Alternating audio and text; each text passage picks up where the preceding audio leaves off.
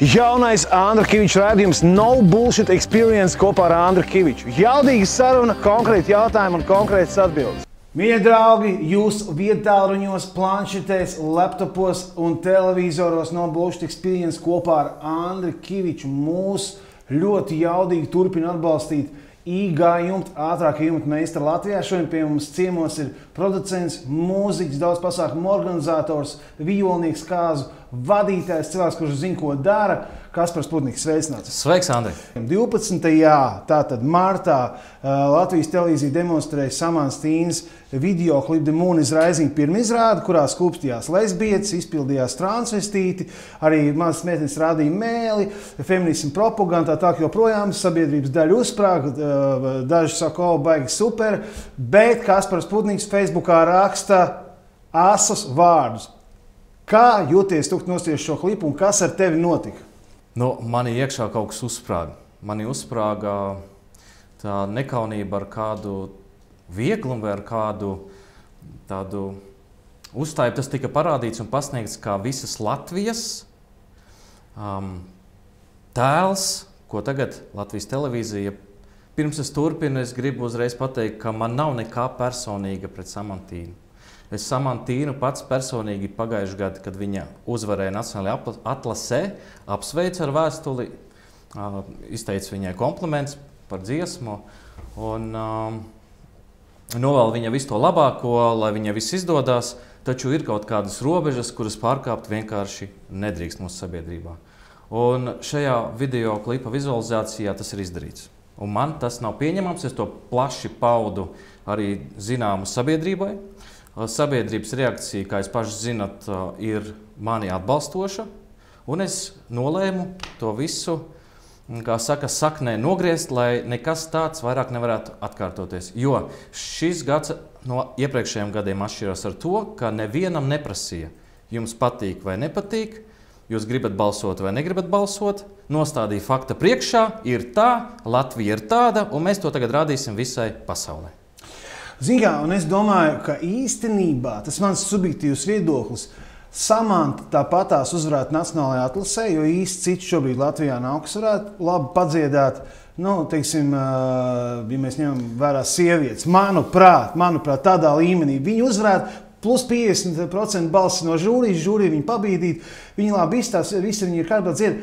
Un tad, kad cilvēki būtu jau par viņu nobalsojuši, viņi jau tik un tā uzfilmētu to klipu ar visu, visām tām vērtībām, kuras daļā Eiropa mēģina iepūtināt tad, tad, uh, lesbiešu, geju, transpersonu uh, šīm vērtībām. Tā kā varbūt tas nekas nebūtu mainījies. Es tā šodien nezinu. Zini, kā mēs nezinām un nevaram spriest, skatoties no šodienas, kā būtu, ja būtu, un vai cilvēki būtu nobalsojuši par dziesmu, un kāda būtu reakcija tad, ja tas būtu izdarīts tā, kā tas izdarīts ir šobrīd. Tādēļ par to runāt īsti mēs nevaram. Cits jautājums, ka Es uzskatu, ka dziedātāja zināja, uz ko viņa iet. Ja viņa pati ir šī video klipa producente, kā viņa apgalvo, tad viņa zināja, kādas ir noskaņas sabiedrībā, kādas, kāda varētu būt reakcija no sabiedrības. Un viņa lika savas personīgās vēlmes uzvarēt Eirovīzijā vai pasniegt sevi augstāk par sabiedrības attieksmi šajā jautājumā. Tas man šķiet nepieņemami. Ja viņi to nezināja, tas ir skumji. Ja viņi to zināja un apzināti to gāja, attiecīgi piesaistot uh, visas tavas iepriekš minētās personas un nu, būtībā propagandējot to visu, tad viņi zināja, kāda būs reakcija, un viņa tagad uh, saprot un saņem to, ko viņa ir pati izraisījusi. Jo jebkurai darbībai būs reakcija. Vai Kasparam Putnikam riebjās geji? Nu, tāds jautājums. Man geji uh, neriebjās. Es paskaidrošu, kādēļ. Tādēļ, ka es uzskatu, ka uh, katrs cilvēks ir tiesīgs darīt, ko viņš grib darīt, ar ko viņš grib darīt, mīlēt, ko viņš grib mīlēt. Bet tas viss ir jādara mājās, slēgtā vidē, neuzspiežot savu viedokli citiem, nestaigājot brīvības uh, ielā teletūbī gājienos, uh, nestāstot par to bērniem bērndārzos skolās, Ja tas notiek tādā veidā, un es zinu daudz tādas ģimenes, kas ir netradicionālās orientācijas, kuri mierīgi dzīvo, normāli ģērbjas, strādā labos darbos, ārsti, advokāti, juristi. Neviens par viņiem neko nerunā, neviens viņam neko neaizrāda. Viņi ir normāli cilvēki, kas strādā. Bet tiklīdz tu, kā viņi paši saka, nāc ārā no skapja, stāsti, kas tu esi, piedāvā mūsu sabiedrībai alternatīvus ģimenes modeļus. Ka var būt arī ne tikai mamma, tētis un bērns, bet varbūt arī tētis un tētis, mamma un mamma, vai tētis un divas mammas, vai trīs mammas. Tad man tas nav pieņemams, un es vēlreiz uzsveru, ka katram ir tiesības savu viedokli, dzīvi un, attiecīgi, arī seksuālā, bet tomēr ir jārespektē sabiedrības vairākums, sabiedrības kultūra, vēsturiskās tradīcijas, un nedrīkst uzspiest savu viedokli mums. Es šai gadījumā aizsargāju tradicionālo ģimeņu vērtības. Un tagad iet tev ielu garām kāds cilvēks, kurš vispār neko nesaprot no Eirovīzijas un saka, nu, lai tā meitene izpaužās mākslinieciski. Nu, ir tā pasaulē geji un lesbietes un transvestīti, nu, lai viņi izpaužās savā klipā tā, kas tur traks. Un es viņam varu piekrist daļēji, jo tiešām nekas nav traks, ja mākslinieks, kā pasniedz Latvijas televīzija, rāda savu māksliniecisko izpausmu video klipā. Nu, par stipru sievieti viņa tātad runā. Jā, jā es par stipru sievieti paturpināšu mazliet vēlāk. Jā. Uh, šajā gadījumā katrs mūziķis, mākslinieks var izpausties mākslinieciski, kā viņš grib. Ja? Um, bet, ja viņš to dara par saviem līdzekļiem, un ja viņš to dara savā, attiecīgi, likt savā YouTube kanālā vai, vai rādīt tur, kur, kur tas ir atbalstāms, pieņemams, katram tiesības to darīt, lūdzu. Bet tajā brīdī, kad par šo maksā tu es, kad par to maksā omītes, kas iet uz baznīcu, kad par to maksā cilvēki, kuriem šīs uh, vērtības joprojām sabiedrībā nav pieņemamas un saprotami, jo mēs esam uh, ļoti sena tauta ar kultūra vēsturiskām tradīcijām, kas ir laika gaitā gadsimtos pārbaudītas, nevelti, uh, ar vērtībām, kuras ir ieliktas satversmē, mūsu satversmes tēvi. Uh, paredzēja mūsu tautai, tautiešiem tiesības. Tai laikā viņi par šādām lietām nezināja, visticamāk, nedomāja un nezināja, ka vispār kaut kas tāds varētu būt. Līdz ar to satversmē tas nemaz nav ietverts. Un man arī ļoti kaitina, kad cenšas satversmi grozīt, līdzīgi kā Bībeli, jebkuru pantu paņemt un pagriezt no otras puses. Lai tas būtu Teletubbijs atbalstoši. Ja? Jo redziet, te ir rakstīts tā, un tas attiecās arī uz mums. Mm. Uh, ir balts, ir melns, un nevajag jaukt tās lietas. Mm. Par stiprām sievietēm dziesmām. Uh, ļoti vienkārši. Nevajag klausīt man uz vārda, vajag pārbaudīt pašiem to informāciju. Paņemiet dziesmas tekstu, Iztulkojiet angliski. Tie, kas neprot tulkot angliski, Google Translate ne ļoti precīzi, bet tomēr diezgan precīzi pārtulko dziesmas vārdus. Dziesmas vārdos nav nu es vismaz neatradu nevienu vārdu sieviete, woman. Un nevienu vārdu beautiful, skaista. Strong, Tādu jā. vārdu tur nav. Ja? Mm. Um, ir asiņains mēnesis, kas saistās ar dažādiem nevisai labiem tradicionālā izpratnē laikiem, kas ir aprakstīti gan mm, baznīcas grāmatā, gan arī mūsu, kā latviešu izsence bijuši pielūdz vēja māti, meža māti un vispārējās. Bet šajā gadījumā stipra sieviete nav tas, par ko samanta dzieda, un viņa klipā to arī parāda. Jo stipra sieviete manā uzskatā ir sieviete, kas ir māte, kurai ir divi, trīs bērni, kas mīl savu vīru, savu valsti, cīnās par savu ģimeni. Nu, nekādā gadījumā 13 uh, vai 18 gadīgas sievietes, kas uh, skūpstās. Uh, vīrietis, kurš ir pārģērbts sievietes kleitā, zaļā. Ja es, esat skatījušies klipu, labāk nestīties, protams, bet, ja esat skatījušies, tad kur ir stipra sieviete vīrietei, kurš ir pārvērties, pārģērbies par sievieti? Kaspars Pudniks vāc pārakstus. Uh, petīcija, tātad uh, pastāst par šo petīciju. Kāds mērķis, uzdevums, ko tu gribi panākt? Iniciatīvas nosaukums, par kuru tagad uh, mana balss.cl mēs vācam parakstus, saucās nosaukums Latvija Eirovīzijā par Latvijas sabiedrības līdzdalību Latvijas tēlu veidošanā. Kāpēc tik sarežģīts nosaukums? Šodien braucu mašīnā kopā ar savu sievu un domāju, kāpēc petīcija nesaucās? Nu, es gatavojos šodien mašīnā pārēdē ar tevi, sarunā ar tevi. Kāpēc nesaucās? Par uh, neļaušanu Latviju pārstāvēt uh, šādā veidā. Ja? Uh, bet tik sarežģīts nosaukums. Šī iniciatīva ir trešā redakcija, ko mums izdevās ar mana balss administrāciju sarunāt un iesniegt. Pirmās divas tika noraidītas saknē, par viņām pat diskusija nekāda nebija. Pirmās iniciatīvas nosaukums, protams, var teikt, ka es biju uz emocijām, ļoti karsti to visu pasniedzis. Mm -hmm. Nosaukums bija aizliegt Latvijas sabiedriskajā televīzijā LGBT propaganda. Mm -hmm. ja? mm -hmm. Otrās iniciatīvas nosaukums bija atsaukt Latvijas dalību 2021. gada Eirovīzijas dziesmu konkursā Rotterdamā. Mm. Šīs divas tika kardināli noraktas, un uh, par viņām mēs esam aizmirsuši. Šī iniciatīva, par ko mēs tagad uh, runājam, ir par Latvijas sabiedrības tēlu veidošanu. Proti, idejas mērķis ir palicis tas pats. Tikai viens viņa nesaprot. Aizsargāt uh, tradicionālo ģimeņu vērtības, taču uh, jāsaprot, ka. Mm, Ko mēs gribam panākt? Mēs gribam panākt, lai nekas tāds vairāk nevarētu atkārtoties. Lai sabiedrība būtu tā, kas balso par dziesmu, kas mm. deleģē dziesmu, mm. un tad, kad mākslinieks ir iegūmis sabiedrības atbalstu mandātu, tad viņš ar lepnu sirdi, Latvijas karogu var doties pasaulē. Nevis kā tagad, Latvija neko nav teikusi, bet viņš ar karogu pasaulē visi domā tā, laipni gaidīt.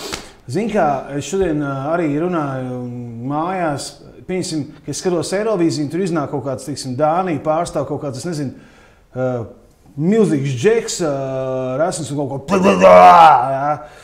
Es, piemēram, personīgi nepadomāju, ka tāda ir Dānija. Es pēc tam padomāju, o kādu frīku dāņu atsūtījuši. Un es pēc tam arī domāju par Končitu Vūstu. Austrija, Vīnas opera, Mozarts, Beethovens, nu, Beethovens un tā tālāk. Kā viņi uh, legāli, leģitīmi ņēma un atsūtīja uh, končitu vurstu. Vai mēs nepārspīlējam Latvijā to Eirovīziju nenormāli? Uh, šeit saknes slēpjas mazliet dziļāk, jo mani kā Latvijas pilsoni un sabiedriski aktīvu cilvēku nesatrauc tas, ko dara Austrija, Vācija, Dānija un citas valsts. Mani satrauc tas, kādas vērtības ir manī, kādās vērtībās esmu audzis es.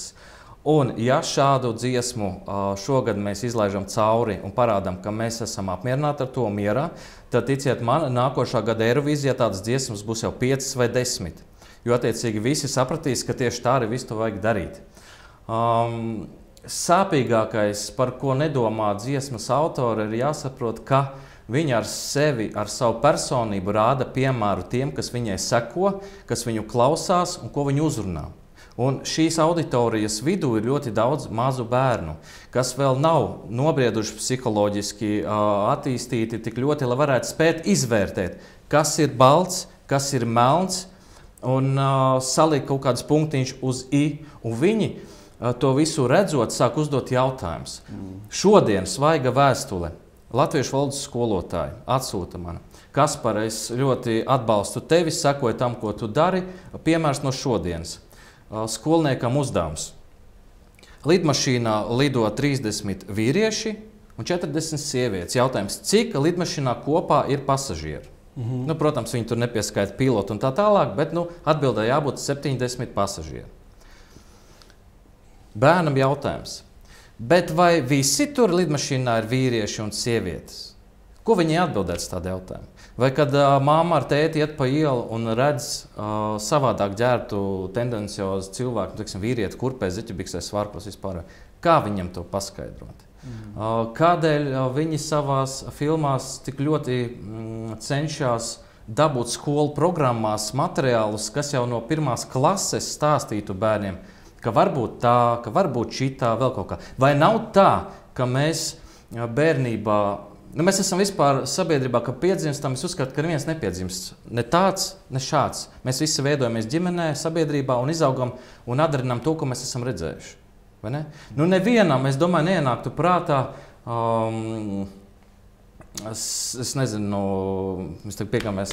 Seks ar, nezinu, Grup, grupveida seks, Jā. ja kādreiz bērnībā kāds nebūtu netīšām redzējis kādas filmas, turpinājumā, nezinu, pornogrāfijā, ka tā var būt. Līdz ar to tiklīdz tas uh, ir parādīts kā nu, iespējams, uzreiz tiek uzdot jautājumu.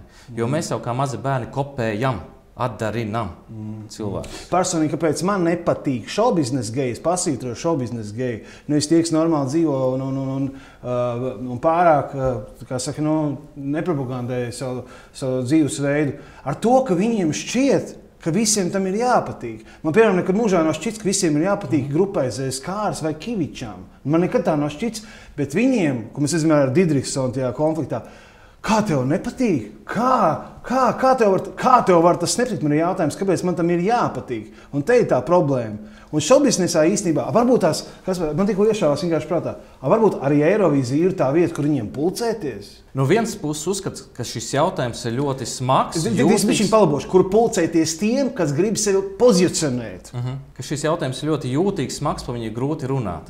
Es savukārt uzskatu, ka šis jautājums nav ne grūts, ne smags, ne jūtīgs. Būtībā ir tā, ka vēlreiz atgādīju, man nav nekas pret cilvēkiem, kas netradicionālas orientācijas, viņi var dzīvot, mīlēt, ko viņi grib. Darīt, lūdzu, neviens par to neiestājās. Man nav nekad, nekāda naida. Protams, nedrīkst būt nekādi slikti komentāri, naidīgas runas. Apskaukšanas, pazemošanas, sišanas. Nu, tas nedrīkst būt. Tas nav cilvēks. Nu, tā nedrīkst būt. Tā nevajag būt. Taču um, viņi paši stāsta, ka neviens ar viņiem nenāks diskusijā, neviens ar viņiem negrib runāt. Jautājums nav tajā, ka negrib runāt. Viņi negrib runāt.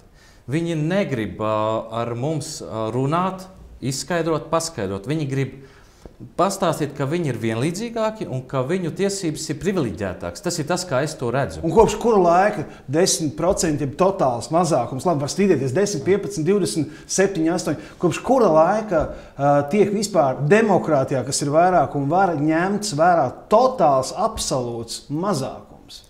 Un Covid gadā pie tam.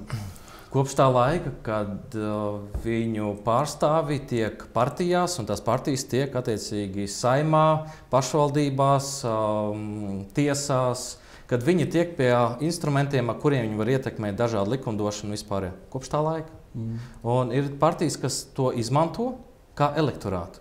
Un, attiecīgi, tad dzied patīkams dziesmas visiem ausīs. Lai gan iespējams, te arī mēs varam runāt par dubultu morāli. Ja, ja man tu esi vajadzīgs, es tevi izmantoju, ja tu neesi vajadzīgs, vari būt brīvs. Mm. Atbildot uz tavu jautājumu par to, vai Eirovīzija būtu tā vieta, kur viņam pulcēties un darīt. Tiem, kas grib pozicionēties, es pasvītroju. Es arī pazīstu gejus, kas tiešām dzīvo So, mājās, ja tu uz darbu nekad nepateiksi, viņi kolosāli dzīvo, viņi laimīgi. Es piekrītu, jā. Viņi, viņi, es esmu ar viņiem runājis, viņi saka, es, Andri, es nekad mūžā neietu prātā. Priekš kam? Fantastisks cilvēks. Es arī tādas ģimenes zinu, un es kā pasākumu vadītājs esmu vadījis ļoti daudz pasākumus, un viņos ir daudz dažādu cilvēku ar dažādām orientācijām, un nekā, mēs varam kopā mierīgi dzīvot, mēs varam visu darīt, mēs varam visu sarunāt, mēs varam viens otru papildināt. Jā, bet ja jūs nākat un uzbrukat un sakat, ka mēs divi vīrieši gribam tagad bērnu, nu, sorry, veči, ja jūs esat izvēlējušies būt divi vīrieši, tad nekādu bērnu. Mm. Vai nu arī tad ejam dabisko ceļu, kā dabā ir pieņemts, nu tad dzīvojam tā. Ziniet, kā ar tiem vīriešiem, ar viņiem ir tā, es nesaukšu uh, tos divus Latvijā vārdā, lai gan visi zina, kur tie ir, kas ļoti grib uh, ģimeni un arī bērnu, bet tad tomēr drusciņi vairāk karjeru un somas un cepures, un tad varētu arī zīdainīt, bet tomēr tās surrogāta mātes ir tik dārgas, un pēc tam viņas tur kaut ko dirž vēl un grib tikties, nu nē, nē, nē, tomēr nē, laikam. Ne, bet varbūt, jā, nē, laikam nē. Sarod, tas nav piemērs. Es, piemēram, gribētu, lai Latvijā ir geju pāris, divi džeki jēdzīgi, kas reāli parāda, ka izaudzināts zīdainīt. Jo ir vēsturē tāda piemēra, piemēram, nu, arī manu izaudzināja faktiski māma un vecmāmiņa. Ja? Tēvs satika, nu, teiksim, reizi mēnesī pārsvarēs, mēnesī, viņš man arī daudz dzīvē devis, bet reāli uzaudzināja man divas sievietes. Tā kā tas iespējams ir. Iespējams, ir, bet es tev uzjautāšu, vai augot ar savu māmu un vecumāti, vai tad tev nebija blakus kāds vai māmas brālis, vai onkulis, vai um, Basketbola kaimiņš, basketbola basketbola treneris, treneris, treneris, vīrieša piemērs, Jā, kurš tev jā. deva uh, to, uh, ko tev neiedeva tēvs. Ja? Uh, nu, tā ir tā lieta, ko es saku, ko bērns uh, kopē. Un, ja būs divas sievietes, tādas uh, manierīgas sievietes, viņas runās šādi apmēram. Vai, nu cik jauki, skaisti, viss tur mēs esam tik skaistas un labas. Un tā. Tad visticamāk, tas puisis, ja dzīvos ar tādām, viņš izaugs un runās tāpat. Vai, cik jauki, Andri, čau. Ja? Un viņš būs vienkārši tādēļ, ka viņš tā ir kopējis, viņš to ir dzirdējis, un tās viņš ir. Viņš nav ne slikts, ne labs, viņš vienkārši tāds ir. Viņš kopē to, ko viņš redzēs no vecāka. Parunāsim nedaudz par petīciju. Savākt šodien skatījos, ne brīdī, kad es skatījos 1700 1775 balss no tātad 10 tūkstošiem, vai grupu reiķinot vēl 8000 balss. Pieņemsim, kad viņas savāks, kas notiks tālāk. Tad, kad tiek savāktas balsis, tālāk šīs iniciatīva tiek iesniegta saimnes komisijā, pieaicinot atbildīgās puses, proti no televīzijas, no aerobīzijas veidotāja puses, tiek izveidota komisija, kurā tad sabiedrība vienojās par noteikumiem, kādi būs turpmāk Eirovīzijas dziesmu atlasē un sabiedrības iesaistīšanās Latvijas tēla veidošanā. Proti, galvenais uzstādījums ir, ja Latvija turpina piedalīties Eirovīzijā, kas arī ir mazliet apšaubāms jautājums, ņemot vērā to, ko viņi ir rāda un kādas vērtības uh, sludina. Man jau šķiet, ka vajadzētu vispār no revizijas atteikties. Um, taču nu, es vienpersoniski to nevaru izlemt. Kāpēc tu esi dusmīgs uz raidījumu nekā personīgi? Nu, lūk, iesniedzot iniciatīvu, saskaros ar ļoti lielu pretestību šīs iniciatīvas vispār virzīšanā. Tālāk sekoja dažādi atteikumi no preses par preses relīžu kā tādu publicēšanu. Um, jo, ja paskatās presi, tad ir ļoti maz laikrakstu vai portālu, kas ir vienkārši cilvēkiem darījuši zinām, ka tāda iniciatīva ir un ka balsis tiek vāktas. Pārējie visi klusē vai vienkārši ignorē. Uh, Tālāk es izveidoju video uzrunu, ko es arī ievietoju savā Facebook profilā, ar aicinājumu cilvēkus attapties, balsot un saprast, par ko ir lieta. Uh, šo visu, acīm redzot, uh, pretējā puse nu, vai, vai, vai tie, kam tas nepatīk vai nav pieņemams, sadzirdēja. Tas ir, protams, ļoti labi. Un izlēma, ka vajadzētu mani mazliet apstādināt, uzlikt kādu birku virsū, un gan jau viņš tur nomierināsies, un mēs par to visu aizmirsīsim.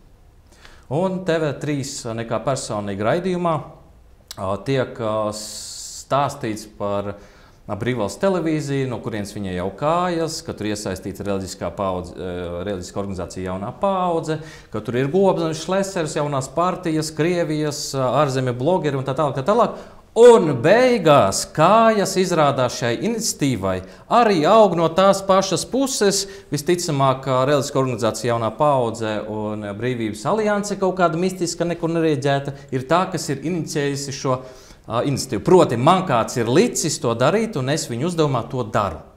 Un vēl, ka lai nosauktu mani un cilvēkus, kas ir parakstījuši šo iniciatīvu un atbalsta mani par haiteriem, ka mēs esam, ka ienīstam Eirovīziju vai, vai, vai, vai Samantu vai kaut ko tādu, ka mēs esam troļi, nu, tas ir aizskaroši, pazemojoši, sevišķi tajā brīdī, šobrīd, kad es esmu ļoti jūtīgs, jo man burtiski 2-3 dienu laikā gaidāms pirmdzimtais. Uh, um, es tiku no aizskarts. Nosaukts par sektantu, par heiteri, par pa, pa, pa, un vēl, vēl, vēl, vēl kaut kas tāds. Tā tu, visa nav taisnība. Un tu prasi atvainošanās. Kāpēc tu neprasi naudu pie tam, ar, es domāju, vismaz četrām nulēm? Uh, sākumā ir nepieciešams sagaidīt viņu atbildi, mm. lai viņi izlasa uh, iesniegumus, ko es esmu iesniedzis. Un es esmu iesniedzis iesniegumus gan uh, Almēdija, uh, Latvija, kas ir TV3. Gan uh, nekā personīga dot mēdīja grupa, gan producentei Artai Gigai, gan uh, Jānim Krēvicam, lai viņi man atbild, uz kā pamata, uz kādiem faktiem, uz kādiem pieņemumiem var balstīt melus un pasniegt to kā, kā patiesību. Es tev pateiktu, uz kādiem pamatiem. Uz ļoti, uz ļoti zemes profesionālitātes pamatiem un uz iespējams naudas pamatiem. Uh, bet, principā, es uzskatu, ka tā ir zema profesionālitāte, tāpēc, ka man arī vienā raidījumā pateica, ka esmu reāls drausmas valsts drošībai. Jo es sēdēju mašīnā, nofilmēju video, kas aicina 12. decembrī cilvēkus uz krastmalu, tos, kas grib iestāties par bērnu tiesībām, iet skolā bez maskām. Šajā raidījumā tos arī pieminēja, parādīja kadrus no brīvības krastmalas, no tā pasākuma, Jā. kur arī tu garām esi braucis. Un tas arī tur tikai iemests iekšā. Un radās iespējas, ka Latvijā ir dzīvo tātad. Troļļi, heiteri, sektanti, covid disidenti, valstī nevēlams personas un žurnālisti. Mm. Labie TV3 žurnālisti. Es ar šo neesmu mierā. Es pieprasu tiešām publisku atvainošanos. O, ar mani jāsaskaņo, kā tas notiks. Un es esmu vērsies arī valsts drošības dienestā, es esmu vērsies pie iekšlietu ministra Girģenes, es vērsies Neplā, es esmu vērsies valsts policijā ar iesniegumu. Nu, skatīsimies, kā šis jautājums tiks risināts. Jo es uzskatu, ka, ja tu esi profesionāls žurnālists, tad tev ir kā profesionālam žurnālistam jābūt vismaz uzticamiem avotiem, kā minimums vismaz trīs viens, otrs, trešais, tad tu vari izdarīt kaut kādus secinājumus un balsoties uz to, ko tu zini, un uz tiem pierādījumiem, pieņemt kaut kādu lēmumu un pasniegt. Mm. Nevis izdomāt no zila gaisa, ah, Es domāju, ka ir tā, nu labi, tagad mēs šo cilvēku noraksim, pateiksim, ka viņš ir sektāns, haters un vēl nezinu kas, un ka, ka, kā viņš vispār var uzdrošināties Latvijā aizsargāt tradicionālās ģimenes, jo mēs taču dzīvojam modernā sabiedrībā. Un, ja tu neesi tā kā mēs, tad tu vispār labāk brauc prom uz Krieviju, mm. ko mums mēģina uzspiest. Mm. Man tas nav pieņemams, un es varu pateikt, tā mīļā nebūs. Jā, nu, kas tad mēdījiem deva tos 3 miljonus un 2 oh. miljonus valsts? Jā, nu, protams, ka tev ir jādzird tādā stabulē, uh, kas tev dod naudu. A, kas ir valsts? Kas par... Es izstāstīšu, kas ir. Gadījumā neesam mēs. Sanāk, ka Kaspars Putniks ir iedevis ar saviem nodokļiem naudu TV3, lai TV3 viņu paziņo par sektantu. Es savukārt esmu pats apmaksājis to, uh, lai man meita skatās uz transistītiem. Tā jau ir tas, ko es saku. Tās ir, tās ir sekas jau tam, kas notiek. Un, uh, kad man saka, bet mums jau nekas tik traks nenotiek. Mēs jau mierīgi dzīvojām, uztaisām savu festivālu reizes gadā. Jā, šogad arī plānojās no 2. līdz 7. augustam būs teletūbuļu gājiens arī pa brīvības ielu. Mm. Uh, un tur jau mierīgi, tur nekas tāds nenotiek un vispārējais. Mēs gaidīsim, kad notiks. Nenopietni, mēs gaidīsim. No ASV tikko pieņēma lēmumu par uh, transgenderiem attiecīgi, ka pieaugušs vīrietis 40 gadi, ja viņš uzskata, ka viņš ir 15 gadīga sieviete, nu, psiholoģiski, ja, 15 gadu meitene, tad viņam ir tiesības piedalīties sporta nodarbībās ar šīm 15 gadīgām meitenēm, kleitu, ar viņām spēlēt basketbolu, pārstāvēt valsti. 15 gadīgi viņš izlasē, viņš var viņam atrasties viņu pašu ģērbtuvē meiteņu, iet uz pašu dušiņā, jo tas ir normāli. Nu, mēs taču to negaidīsim. Kā tev šķiet? Kā Latvijas pārstāvēja Samantai Tīnai ies lielajā Eirovīzijā. Es zinu, ka viņa ir ļoti spējīga meitene, ļoti mīl darbu, mīl to, ko viņa dara. Par to viņa var cienīt. Viņa zina, uz ko viņa iet, viņa zina, ko viņa grib sasniegt, un par to viņa var cienīt, un mēs viņu arī cienām par to. Mm, es ceru, ka viņai viss izdosies. Cits jautājums ir um, par kādu cenu. Un cits jautājums ir, kā viņa kā viņa turpmāk skatīsies Latvijā cilvēkiem acīs. Jo man jau šķiet, ka pareizāk būtu atvainoties, ka ir tā sanācis. Nu, ir sanācis tā, nu, gadījās tā, nu, pāršā par strīpu. Jo viņa pati jau sev pozicionē kā kristiete, kā tradicionālas ģimenes vērtību atbalstītāja, kā, kā sieviete, kas. Um, nu, Var sakot, viņas darbi nesaskan ar to, ko viņa runā. Man šķiet, ka viņai tagad ir. Bet es novēlu, lai viņai veicās, lai viņai izdodas, un ja viņai izdodas, lai viņa tiek pēc iespējas augstākās vietās, un noteikti, būs platformas, kur viņa varēs startēt un dziedāt. Vai tā būs Latvija? Nezinu. Un viņi, es domāju, nevienu brīdi nav domājis par kaut kādām latviešu ģimenēm, nav vēlējies viņus aizskart. Nevienu brīdi viņi nav domājis par kaut ko, par kaut ko tradicionālu, netradicionālu. Viņi vienkārši izmantoja šos ieročus uh, maksimāli spilgta, skandaloza, pretrunīga uh, šovu izveidošanai. Mēs te jau, starp citu, esam viņai jau 30 vairāk minūtes reklāmu, un man nav žēl. Mm -hmm. Man nav žēl. Es samantē novēlu atrast spēcīgu vīrieti, Viņa ir pati spēcīga pēc uh, sava rakstura un pēc enerģētikas, lai viņa atrod vēl spēcīgāku vīrieti par viņu, lai viņiem dzimst trīs, četri skaisti bērni, lai viņai ir uh, stipra ģimene un lai viņai viss dzīve izdodas. No visas sirds man nekad nekas nav skaudis, man nekad nav nekāda naida bijis. Es viņai novēlu visu, visu to labāko. Taču ir lietas, kā jau es teicu, kuras darot, um, nu, kuras nedrīkst darīt. Un šajā gadījumā ne tik daudz iet runa par dziedātāju, cik par Latvijas televīziju un to, ko viņi atļaujās rādīt par Latvijas nodokļu maksātāju naudu. Tas pasākums izmaksā nelēti. Tas ir apmēram no 300 līdz 500 tūkstoši eiro, plus vēl šie pieci raidījumi, kas bija par, arī par nodokļu maksātāju apmaksāto naudu. Um, ko redz privātā dzīve uzdeva Latvijas televīzijā jautājumu, cik izmaksāja šie pieci raidījumi, kā uzvarēt Eirovīzijā. Šāda raidījuma cikls nav bijis nevienam dziedātājam, ne Kauperam, ne, ne, ne Umovai, ne Busulim, ka tā tik tendenciāli to visu rādīt, kā tas notiek vispārējais. Viņi atbildēja, ka par cik ir noslēgts līgums ar producentiem, ir, tam ir konfidencialitāte, un to mēs nevaram atzīt. Es... Nu, atvainojiet, tā ir nodokļu maksātāja nauda, un mums tagad nemaz nestāstīs, kā viņi tiek izlietoti. Nu... Es zinu, kā nosaukt to rādījumu. Kā netikt galā piecos raidījumos ar Eirovīziju Eirovīzijas dziesmu. Ir dažādi. Es vēlreiz gribu pateikt, Samantīna, tu noteikti skaties. Es zinu, ka tu iekšā dziļi pārdzīvo to, kas notiek. Tev, ir tagad, nu, tev nav iespējas atkāpties, jo tev no malas spiež vieni producenti, tev spiež televīzija. Nu, kā tad tagad ja, tas viss?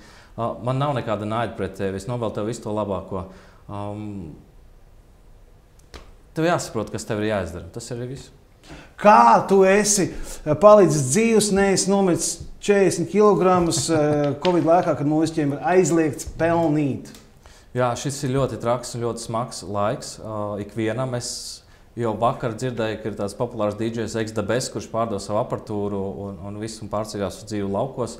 Ir daudzi, kas ir pārdoši savus aparatūrus, mainījuši karjeras, kuri visticamāk vairs nekad neatgriezīsies. Bet paldies, ka man ir mana ģimene, un te ir tas moments, ģimene, dzimta. Un dzimta vienmēr tevi atbalstīs, dzimta, dzimta ģimene tevi vienmēr atbalstīs finansiāli, emocionāli un tā tālāk.